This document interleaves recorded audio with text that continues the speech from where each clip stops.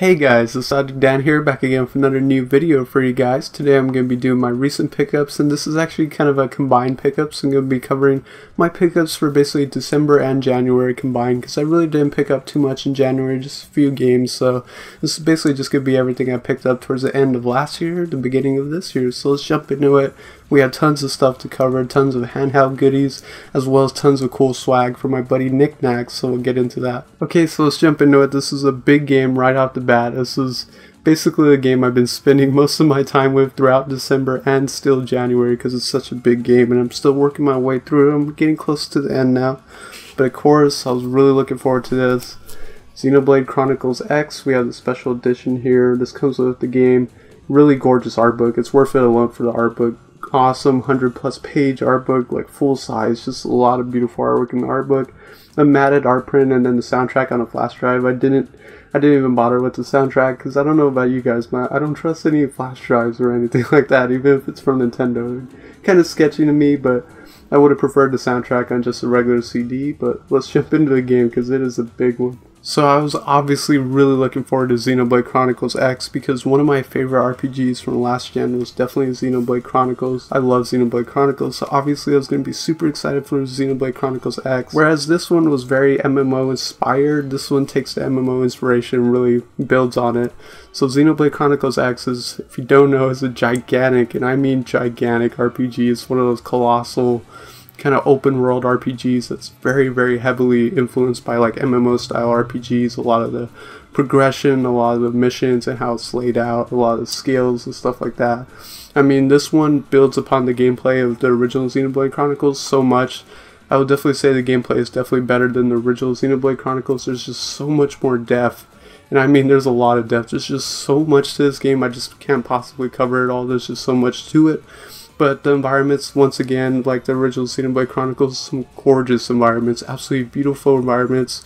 I find myself stopping amid the gameplay a lot just to kind of take in the scenery, a lot of beautiful scenery. And then within these beautiful environments, you'll see tons of roaming enemies and all that. It's just like this, it's kind of like an ecosystem. You see just characters and creatures roaming around in kind of packs and just acting like normal kind of animals. You see some animals rolling around or just moving together in a kind of pack or just kind of hidden in the environment. It's just a really interesting world.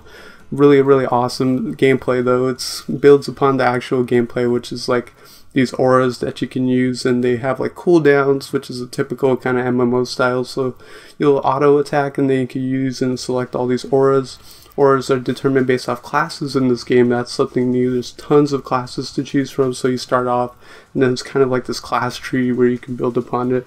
But it is a huge game. The story missions are laid out differently, whereas this was kind of your typical kind of story progression by moving town to town and going through areas. You kind of progress the story. In here, it's determined by taking main missions, and you have to meet certain conditions to take main missions and progress the story, which is a little different. So for instance, you might have to like survey a certain amount of the world, or you might have to take on certain affinity missions, stuff like that. And one new addition that I really, really like, and it's a lot of fun and really awesome, is kind of a big emphasis based off the cover here, but that's the ability to pilot Skells. And Skells are like this, they're like robotic kind of mech suits, like Gundams or something, and you pilot them. You can have your whole crew decked out in Skells so you can go flying around, and that allows you to reach like certain unreachable areas, like floating islands and stuff like that but you also in your Skells it's basically like a kind of second kind of attack kind of thing because once you're in your Skell you have unique auras that are based off your Skells weapons and equipment and gear but Skells are very important especially towards later in the game and fighting some of the stronger enemies and stronger bosses because the game it was very doable for a lot of the game but then I, I just recently finished chapter 10 and the game has gotten significantly harder really quick but there's definitely some grinding towards the end for sure. But with regards to the story, I do have to say that I think the original Xenoblade Chronicles definitely outshines this game when it comes to the story department. The story was just so much more interesting in the original, and this one it's just it's okay in the beginning and then it hits a certain point once they introduce this little twist in the story. I'm not going to talk about any spoilers but they introduce this twist about what's going on in the world and i thought that was really interesting. Those who have played that far kind of know what i'm talking about thought that was interesting, but still, in general, it just feels like the story's just not anywhere near as strong as the original. The soundtrack is also not as strong as the original. That's not to say that it doesn't have a good soundtrack, it's just there's some really generic music that plays when you're in New Los Angeles, and it's just some really bad kind of generic music that's kind of grown on me in a weird way, but even I know it's not the best music. But this game does have some really beautiful tracks. I think some of my favorite tracks in the game are when you're in the Noctilum waters or just like exploring the waters, like the open waters. That has a great soundtrack, and also Sylvalum. Sylvalum is one of my favorite areas in the game. It's this gorgeous kind of alien looking, desolate, kind of white wasteland. It's just so beautiful, but it's got a beautiful musical piece for that. But yeah, I'm still addicted to it. I mean, I'm a sucker for these kinds of games. I easily get addicted to this kind of stuff, but I do have to say, just keep in mind, this is a very overwhelming game. You're going to feel very overwhelmed in the beginning. I definitely felt overwhelmed. I'm like 50 hours in, and I kid you not, I'm still learning new stuff. It's that big of a game. For completionists, this is not for completionists. This is one of those games where it'll drive you nuts trying to collect everything or trying to do all the quests.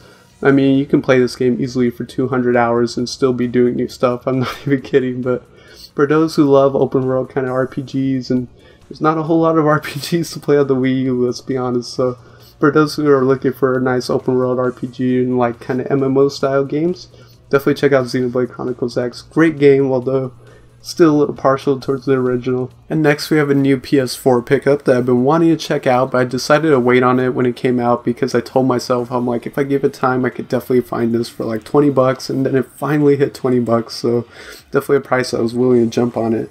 And that's Onechanbara Z2 Chaos, another great hack and slash by Tamsoft, and Tamsoft is pretty good at hack and slashes, and yeah, this is another fun one. I actually beat this, I played through it and really, really enjoyed it that was just a really fun, solid hack and slash beat 'em up. It is so over the top and like when you're fighting hordes and hordes of like enemies it's just so awesome once you start leveling up the girls abilities and stuff like that and some of their weapons is is pretty epic some pretty cool epic boss fights and you just go through various stages and fight like a boss and all that typical kind of layout but a lot of fun just a really quality fun hack and slash with a lot of weird story and charm to it and really sexy girls in bikinis just killing tons and tons of zombies and all that. But it's a load of fun and there's a lot of stuff to do like even after you finish it so there's like missions you can do which have you fighting in unique specific ways and all that and there's tons of like little costumes and stuff to unlock and little accessories but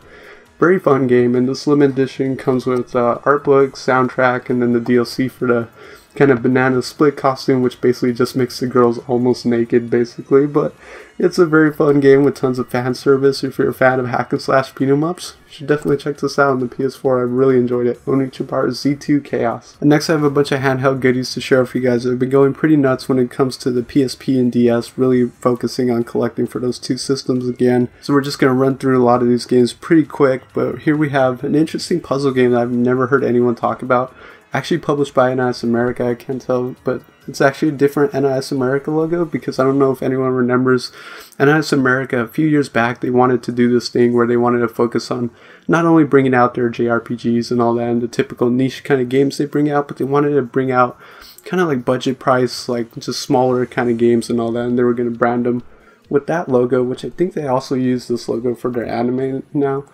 but that didn't really work out. I guess it, that kind of fell through and they kind of stopped doing that. But this is an interesting puzzle game. It's called Puchi Puchi Virus, and I like it because it's actually a fast-paced, frantically fun puzzle game, but it's different. Like it has a very different mechanic, and I'm I'm always about puzzle games that try and do something different with the gameplay. So you have your colored kind of blocks, but what you do is you select three points and like three colored blocks to make a triangle.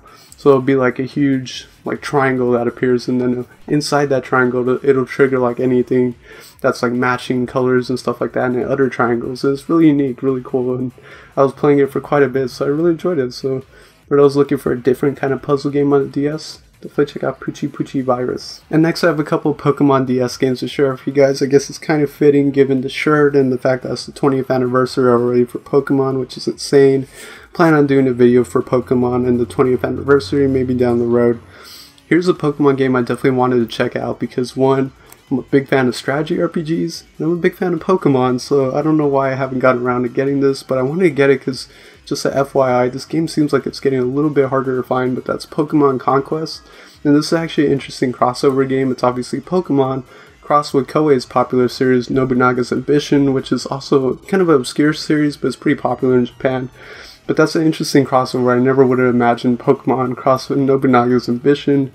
But it's a strategy RPG basically with like Pokemon characters and Nobunaga's Ambition type of inspiration and characters, and I'm definitely looking forward to checking this out. And next we have a Pokemon game that I've always been interested in. It's just one of those curiosity kind of things, and I also like owning the kind of launch lineup games for systems and stuff like that. And I was an early adopter for the Nintendo DS, and to be honest, there wasn't a whole lot to play on the DS very early on, but I always remember seeing like ads for like the games available and it was always like True Swing Golf and like Meteos. And this game here, which I remember seeing a lot of ads for, that's Pokemon Dash, which is a very early DS game. And this is honestly kind of like a tech demo type of game, but it's actually a Pokemon racing game. And it honestly, to be honest, feels something like that's more well suited for like a digital download game, so like a DSi kind of eShop type of game, or maybe even the Wii U nowadays. But it's basically a Pokemon racing game that's heavily controlled on the bottom screen and played on the bottom screen. So you go around these like checkpoints to checkpoints, and you're racing through, and you're just like continuously swiping and all that to make Pikachu go through these levels and all that. And it's not like a typical racing game in the sense that the tracks are like straightforward and just like doing laps and all that but it's actually just going checkpoint to checkpoint over like these maps and stuff like that. So this is pretty big maps, and so it's not as simple as going there to there. You'll be going all across the map and going back and forth and tracing back. This is pretty crazy. There's different like terrain to take into account. Certain terrain slows you down. There's also a flying mechanic where you can like fly in balloons and then like drop down because that's required to cross certain gaps and get to certain checkpoints. So it's it's very tech demo-ish, but I I actually enjoyed it.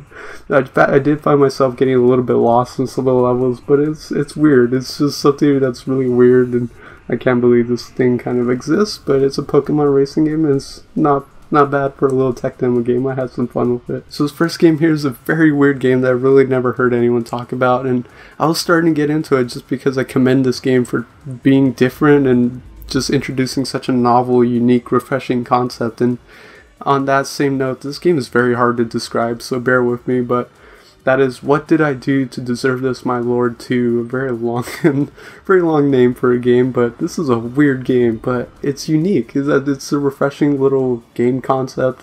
Maybe feels like something that could have been a digital download, but NIS America decided to publish it, give it a physical copy. But this is a weird game. Basically, you play the villain in like an RPG type of setting. So you're like the bad guy, you're the overlord, and you have like this overlord apprentice guy who's like trying to help you and all that to kind of kill all these RPG heroes.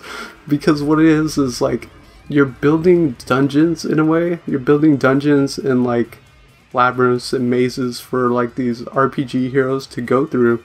So you have to, in these environments, by digging and stuff like that, create like labyrinths and typical kind of like RPG layouts to make it as hard as possible for the RPG heroes because you want to kill the RPG heroes. You don't want them getting to the Overlord Apprentice and you have to place the Overlord Apprentice. So there's strategy there, so it's part strategy game.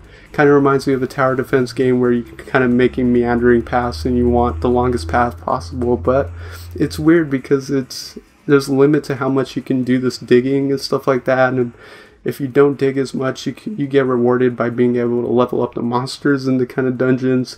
So monsters do form in dungeons but you don't get to place monsters. It's really weird. Do you it's about like nutrients and monsters grow from nutrients and then they feed on each other become bigger monsters and those monsters as a result will fight any of the rpg heroes that are trying to get through your dungeon and capture the overlord guy.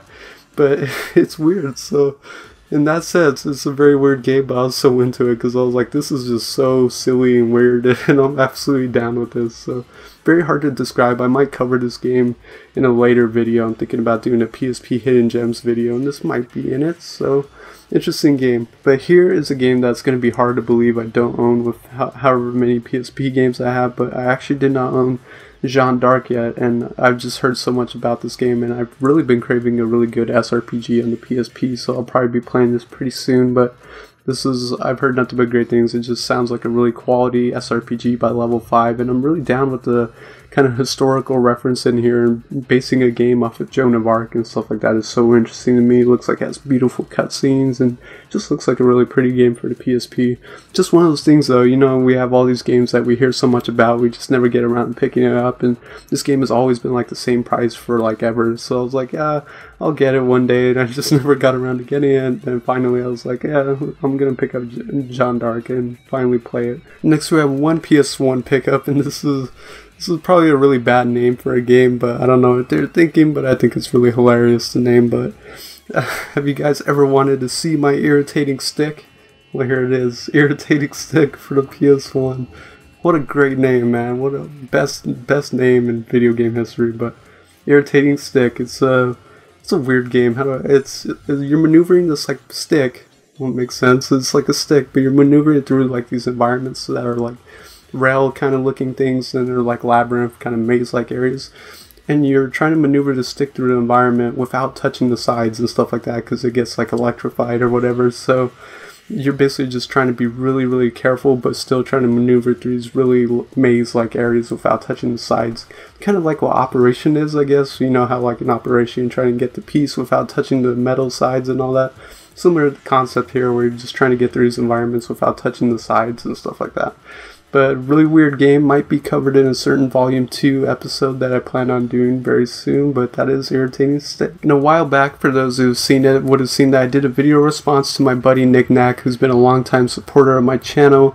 And he, I did a video response because he asked a really interesting question, and that was like music, bands, and artists that you discover from games. So definitely check that out if you haven't seen that. That was a fun topic and definitely an interesting question that I definitely thought about before, but he was also doing a contest, and I was lucky enough to be one of the contest winners. I'd also like to congratulate the other winners as well but he sent me a lot of cool swag, so let's start covering it. So before we start jumping into all the really cool stuff Nick Knack sent me, there was a note included with the package, so let's just go ahead and read this real quick. It says, Hey Mr. Nostalgic Dan, first off I'd like to apologize for the lateness of this package. A whole bunch of stuff took up my time and I had to delay this. I know you understand. Yeah, that's totally fine, no worries. Anyway, as promised, here's the items I promised in the giveaway, as well as the snacks. I love the snacks. I already went to town on the snacks, they were pretty good. Hope there were no problems with the packaging. I hope the stuff is all intact. Yeah, the packaging was so good. Like, I wish you guys could have seen the packaging. Really good packaging. Everything was just beautifully protected. Other than that, thanks again for entering the contest, and I look forward to more giveaways on my channel. So definitely check out his channel. He does a lot of cool giveaways, and once you see some of the stuff he sent me, you, you probably might want to be inclined to check out his channel for some future giveaways. But let's jump into it. I want to cover the cool snacks he sent. A lot of actually Philippine-based snacks, it looks like, but this was really good. I like this. And this was a Gina calamansi juice drink, and calamansi juice or calamansi limes, I think they're called, are really weird kind of fruits. They're like hybrid fruits. They kind of look like orange, but they're like a hybrid of different flavors. They taste like a lime, orange, kumquat. Really, really interesting. This was really good. He also sent some clover chips, which I never heard of. These were barbecue flavored. These were pretty good. They reminded me of bugles. They kind of have that bugle taste, and I'm down with bugles. But these were so good. Like I was addicted to these. These are insane, and I want more. They're called Nagaraya cracker nuts. But yeah, these are so good, and they're just like peanuts, but they're inside these like edible shells, and they're just so crunchy and just so delicious. Like the double flavor is kind of like like sweet and sour at the same time. It's just really good. I want more of these. So so down with these. These were awesome. So the package you sent was just full of tons of cool swag. So let's just start going through it. We got some really cool looking playing cards for Mega Man X4. We have a cool keychain and I like this because I'm actually a big Dead or Alive fan. That's a Dead or Alive keychain of Tina actually from based off Dead or Alive 1. It's her retro Dead or Alive 1 outfit when she was a brunette actually. That's a cool little Dead or Alive keychain. This keychain is super awesome and that's actually a tarot card keychain, Persona tarot card. And this is the Emperor I love the artwork of the Emperor cards, so that's really cool, and this is a really nice keychain. Here we have a cool bookmark of one of my more personal favorite characters from Street Fighter, and that's Juri, so that's a really cool looking bookmark. Here we have this cool badge with some really funny artwork. I thought this was just really funny.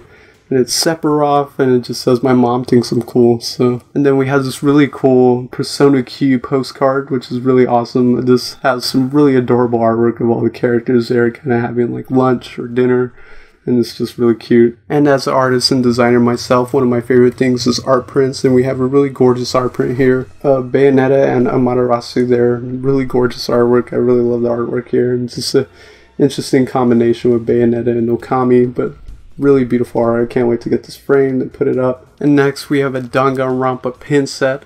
And this is from NIS America because NIS America actually does like tons of pin sets. They used to do like, and they still do for like various games they do. They'll make like pin sets and stuff like that. I believe I have a Neptunia Victory pin set. And I actually never got any of the Danganronpa pin sets, so this is really cool to have. And also, especially since I have my waifu, Hina. So I love Hina from the first Danganronpa, but this is really cool. It's also got Monokuma there and some really personal favorite characters of mine. But yeah, that's really awesome. And next is something really cool that you can actually get from NIS America's online store, and I never got around to getting this because I was interested in it, and it's a nice like little display kind of piece or a cool item for a specific time of the year. But I never got around to picking it up because it's such a specific item. But it looks really cool in person. And definitely put this on the Christmas tree this coming year. But has a really cool, Prinny Christmas ornament ball. it's really cool. It's really shiny. You got the Prinny face on the front, and then it has the Prinny wings on the back. So really nice. And if anything, it's a really nice display piece too. So really cool little unique item and you can get this actually from NIS America's online web store still. And the reason there's a Danganronpa pin set is is because it fits with something very very cool that's inside this Anime Expo booklet and this is actually pretty cool in itself because I've never really been to any expo. I really hope to go to some convention or expo someday but it's really cool just flipping through this. I already went through it and kind of looked at everything. And this has something really cool inside of it. And it is one of my very first autographs for anything gaming related. So inside here is something I really, really cherish and definitely one of the unique pieces of my game collection for sure. I can't believe I'd actually ever get this autograph, but it's autograph for, I don't know if you guys can see that, but it's Kazutaka Kodaka director and writer for Danganronpa, one of my personal favorite series. You guys know how much I love Danganronpa and how much this definitely means to me. He's also a director and writer for a lot of other Spike Chunsoft games that Spike Chunsoft does. But so now that I have this autograph, I'm definitely gonna have to get a frame for it. I'll be framing it pretty soon and really carefully cut out the page here. But this is so so cool to have. It's just a really unique item and Again, I thought this was a very generous giveaway from my buddy Nick Knack. He hooked it up with a lot of cool, unique swag items and really cool items that to have in my game collection. So definitely appreciate it, Nick Knack. Thank you for holding the contest and thank you for sending this out to me and all this stuff. But anyways, that pretty much wraps up pickups. And I almost forgot this, which is a really cool item, and believe it or not, my very first Perler Bead Sprite that I own. But this is really cool and sweet looking. Check this out. It's Chrono. How cool is that? That looks so cool, especially on video. But that is a really cool Chrono Perler Bead Sprite, one of my very first Perler Bead Sprites actually. So definitely put it up on one of the shelves here. And I almost forgot this too, but this is really cool, and I had no idea these even existed. But it's one of those like blind box figures, and it's actually for Growlancer, and I thought that was like so obscure because I had no idea these existed, let alone doing a kind of mystery box figure for Growlancer, since Growlancer is a, a series I like, but it's just kind of lesser known in general. And the figure I got is actually the kind of main girl here, and that's Corinne from Growlancer 5. So it's actually a really nice figure. And I'll give you guys a better look at the figure here, but it's actually really cute and really nicely detailed for such a small figure. But this is Corinne from Growlancer 5. And it's really nicely detailed. She's kind of got like a translucent kind of skirt. She's got her translucent kind of wings, and she's so adorable and cute looking. I'm sucker for those pigtail girls, man. But Really adorable, really cute little figure of Corinne. So that'll pretty much do it guys for this very long recent pickups covering everything I picked up in the month of December and January. So basically end of the last year and beginning of this year, but there's a lot of stuff. But anyways, I feel like I was overdue for a very long video eventually. But anyways, thank you for watching. Until next time, please take it easy guys. Bye guys.